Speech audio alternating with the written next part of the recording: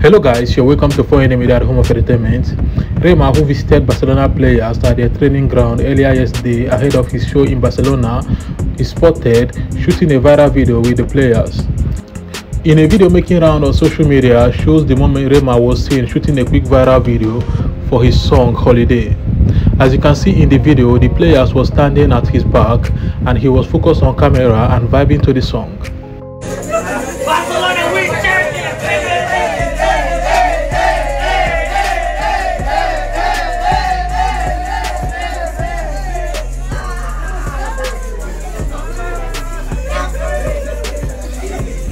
According to what I'm hearing, Rema was signed as a new Barcelona ambassador and it's very big for Afrobeat. More wins, Remy boy.